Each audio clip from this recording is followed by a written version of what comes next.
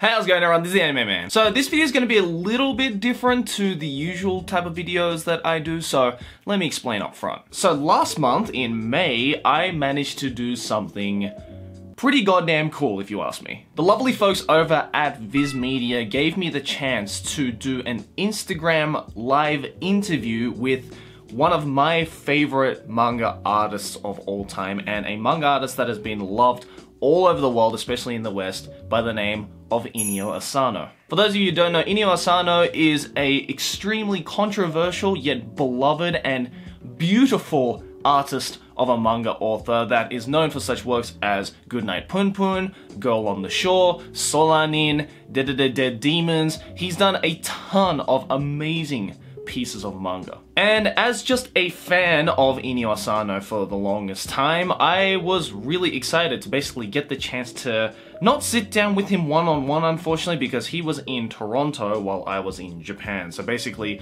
we were in a kind of Skype call, uh, basically, halfway across the world, but I got to sit down and interview him for just 20 minutes. I got to take 20 minutes of his time to just talk to him and finally meet him, and basically say thank you to him for making some amazing manga that I still reread to this day. And you know, a lot of people happen to miss the Instagram live and I saw a lot of people on Twitter saying, hey, I wanted to see it, but uh, I don't follow you on Instagram or I don't have an Instagram or I just missed the live stream. So luckily, the folks over at Viz Media have allowed me to re-upload the entire 20 minute interview in its entirety onto this channel right here. Now, mind you, uh, before we go into this interview, just know that because of the time zone difference, at the time for me in Japan, it was 4 in the goddamn morning. So that's why you might see me being a little bit kind of groggy and like, uh, hello, Inio-sensei. So pardon that, but you know, it's a first step. I was also extremely nervous, like, it, it probably shows in the interview as well, but uh, hopefully with this, I would, you know,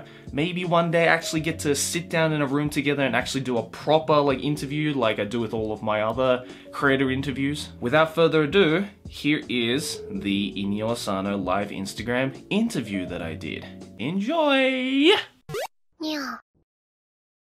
Hello everybody on the Viz Media channel and or my channel. Um, if you don't know who I am, Joey. And today I'm very excited to be interviewing one of my personal uh, favorite manga artists of all time, uh, the one and only Inio Asano. I'm very nervous right now to be talking to him at the moment, but uh, yeah, I'll just be asking him a few questions that I have right here. So yeah, I guess let's get started. So, a lot of your manga series, from what I've seen, uh, seem to be inspired by your everyday interactions in life. But what, I guess, what made you decide to make stories in that fashion? 僕はもともと ギャグ漫画で、えーと、デビューしていてそういうものを描きたかったんですけれどもこの売れる漫画を描かなきゃいけないってなった時にどうしてもストーリー漫画を描く必要があってでその時にフィクションを作ることができなかったんで、うんもう本当自分の身の回りの生活ってものを、うんまあ、書くしかないみたいな感じで、えー、書き始めました。Um, so originally I was uh, I made my debut with a gag manga, and that's the sort of thing I always wanted to write. But um, then it turned out that you know you actually have to sell like your manga and have people have to buy it. So it seemed like story fiction kind of manga was a, a, must in that sense. And I couldn't actually write fiction myself, so I sort of turned to the world around me and took my stories from there. And that's what I ended up writing. That's really interesting because, yeah, I, I definitely see that. Yeah, gag manga I feel is very difficult uh, to tell, especially and you know to be very unique. So no, it's very interesting how you decided to go in that direction instead. Yeah. So, with that being said, uh, including, I guess, the gag manga that you started off with, um, of all the manga that you ever created, which one would be your favorite? Or if you don't have a favorite, which one do you have the strongest impression of? うんまあ、今まで書いた漫画だと、まあ、一番長かったんで、そのプンプンが一番、えー So I guess like of all the manga I've written up to now, I guess maybe um, my longest work, which is Poom Poom, would be the one that I have you know, that I'm most attached to, that I really feel like was maybe my most complete work. まだ翻訳されてない漫画なんですけど、あの去年、霊落っていう、うん、落ちぶれるっていう意味の漫画を描いていたんですけど、それはもう本当に今僕のそのままの漫画家が主人公で、まあ、あの結婚したんだけど離婚してみたいな流れをもうほぼそのまま描いた漫画があって、それが僕的には今一番おすすめです。Um, but actually, the one work that is maybe I would recommend the most of, of my work, it hasn't been translated into English yet, but um, it's called Reidaku, which is like the downfall kind of thing. Um, and it's sort of like the life of a mangaka laid bare. Like there's the protagonist, and it's basically everything in me. Like this mangaka, manga artist protagonist, he gets married, he gets divorced, he goes through all this stuff, and it's very, uh, it's a very important work for me. That, that's funny that you say that actually because yeah, I have data right here. oh, you have it! wow.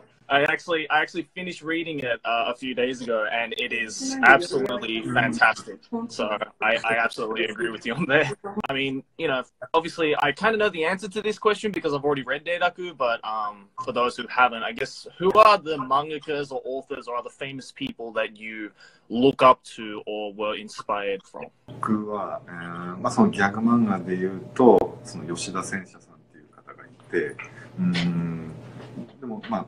ストーリー系になってくると,、えーとね、山本直樹さんっていう方がいてその人は、まあ、かなりエロティックな漫画を描く人なんですけどもうその人のなんていうかな知的な感じというかねそういうのがすごく好きです。So, like, in terms of like uh, gag manga, like I, I mentioned, um, Yoshida Sensha, I think is like someone that I'm really, really in love with. And but in terms of story wise, I really love uh, Naoki Yamamoto, who he does some kind of erotic sort of style, but it's also very intellectual. I personally haven't heard of him, but I mean, if it's somebody that you look up to, then I definitely like to check them out. Yeah.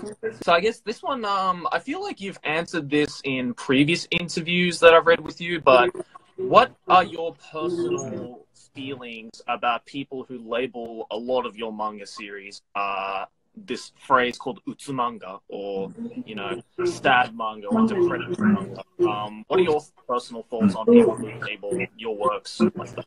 あのね、うつ漫画っていう言い方は本当に最近されるようになって、うーん、みんな、あの、読者の人って、そのカテゴライズしたくなるから、まあ、そういう名前になったのかなとは思うんですけど、僕にとっては、これが、あー普通の標準的な感覚なんで、うん、ちょっと認識が違うかなと思ってます。 Right. So I think like uh, with that label Utsumanga, it's only recently that uh, that's been applied to me, you know, and I think that's because like readers more uh, want to like categorize works a lot more lately. So that's how that ended up. But for me, it's just like the standard. It's just like regular life, and that's kind of how I feel about it inside. ネガティブな漫画っていうものは、なんていうかな、 必要としてる人っていうのは必ず少なからずいて、まあ自分もそうなんだけど、やっぱそういうものを、うん、書くっていうのは、言い方悪いけど、まあちょっとこう、あの、セールス的に期待できるっていうのがあったりして、僕はそれはすごくいいと思ってる。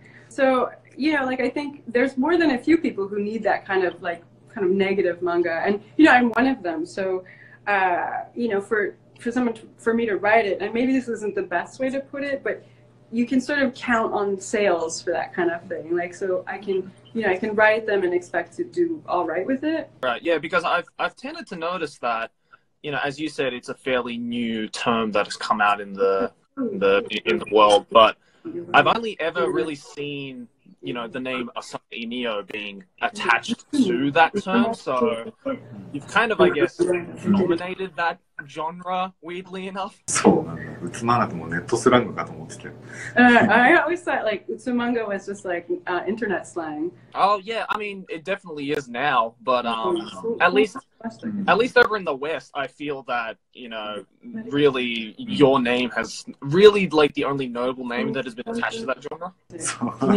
いいのかなまあ、まあいいわ、それで。I don't know. Is that okay? Is that a good thing? I don't know. I guess I guess that's a good thing. i mean you know you have a lot of fans over in the west so i guess that's a good thing i, I guess that's something you can be proud of yeah この僕がさい僕が書いてる時って本当に日本向けに書いてるつもりだからでもまあそういう内容ってなんつうの世界共通なんだなって思います So um, I actually write, you know, when I'm writing, I'm writing for Japan, like a Japanese audience. But I guess those kinds of elements are just like global. Yeah, I, I mean, you know, th- there is definitely a reason how you know a lot of people from all sorts of different countries do relate to your works and do you know feel very strongly about the stories. So, yeah, I guess there is some kind of element that is really you know has some kind of a spark that is just universally understood. でも僕の漫画喜んでる人を見るとね、ちょっと心配になる。 But when I see people who are like uh, really happy about my work, I get a little worried.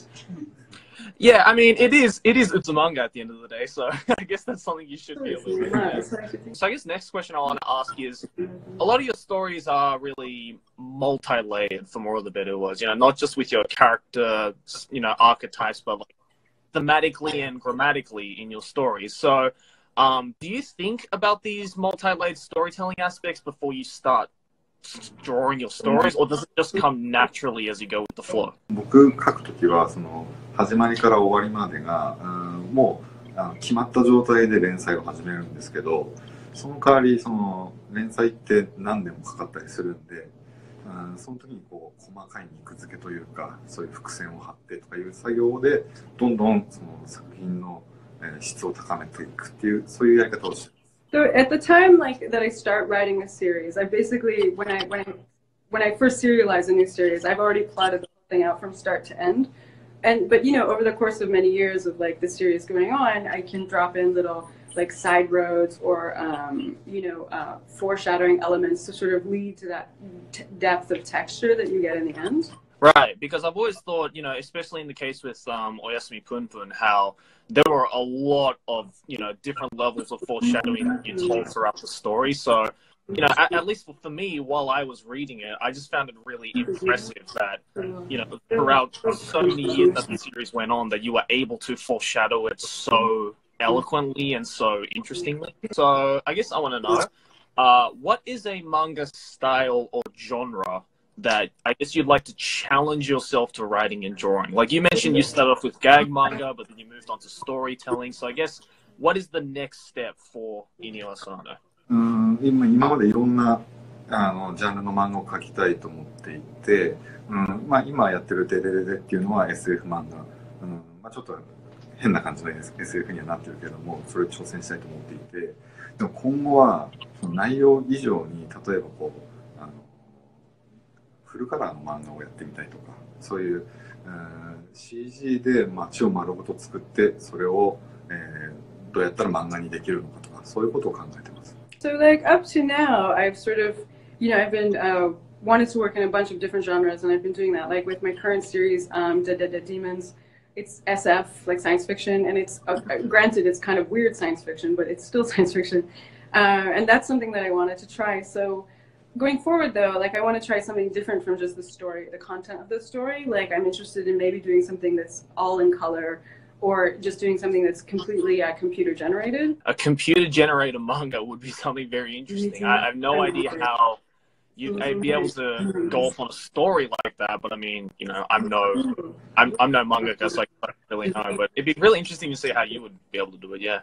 僕はその街があればあの主人公っていうのはそのなんていうのね主人公らしい人じゃなくてもいいから街さえ揃ってればどんな話でも書けるしいくらでも話書けると思ってるからまず街が重要なんですよ So like as long as I have the the city or the town, like even if I have a protagonist who's not like very protagonist like, but it, you know even if you have someone like that in the story, as long as there's the town, like as long as I have this place that I can build on and um, the town itself, then I can make a story, I can make a manga. Yeah, I think I remember some kind of line like that in the Reiraku manga as well, like how the the main character was telling the assistants to like just just draw some town, you know. So we, we only got uh, I think like five minutes left, so just one more question, I guess. Um, are there any tips and tricks you use in drawing and writing that you would recommend to future aspiring artists and authors? potentially who are you know watching this live stream right now まあ僕が書いてる漫画っていうのはいわゆる日本の漫画の中ではあまり王道じゃなくてうんまあそれがゆえにいろいろ文句言われることもあったんですけれども、まあ、自分が描きたいものっていうのはまず、うん、すごく大事にしておくってことはまず一点 Uh, so for me, like um, the manga I write, uh, it's not mainstream in any sense in Japan. So I get a lot of people complaining about things like that. But I think the first thing that I would really stress is that you have to write what you want to write, like write what you believe in. Yeah, definitely. Uh, that's what I think. で、うんなんだけども、好きなものだけ書いてればいいってことじゃなくて、そのみんなが好きなもの、漫画っていうものは売れるっていうことも大事なことなんで、そのみんなが好きなもの、自分の興味の持てるものの接点っていうのを見つけるってことが、So, um, but that doesn't necessarily mean that you can just write whatever you like or draw whatever, just what you like. You also have to think about what other people like, what, what the readers are interested in, and you know it's important to be able to sell your work. So there's there's a point where those two things meet, like what you want and what the readers want, and you have to like look for that and find your place there.